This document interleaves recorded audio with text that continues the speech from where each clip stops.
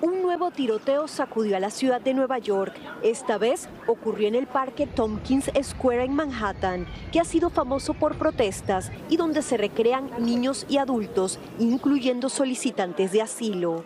No me sorprendió. Lo que me dio pena porque ahí yo voy a rezar y a meditar y eso me dio pena. Ahora todo el mundo tiene miedo de entrar ahí. Según la policía, sucedió cuando un hombre que aparentemente estaba siendo acosado disparó, baleando a un hombre en los glúteos y a una mujer en la cadera, cuando ambos simplemente disfrutaban de un día soleado. Cada cabeza un mundo y pues, mal hecho el momento porque pues, puede haber un niño o, o puede ser un animalito, lo que sea. La balacera se dio casi dos días después del tiroteo en el subway que dejó a pasajeros tratando de resguardarse en un vagón en plena hora pico. Tenemos el problema que tenemos muchas personas que tienen problemas de salud mental y no tenemos el, el tratamiento apropiado y lo que tenemos es básicamente viviendo en la calle.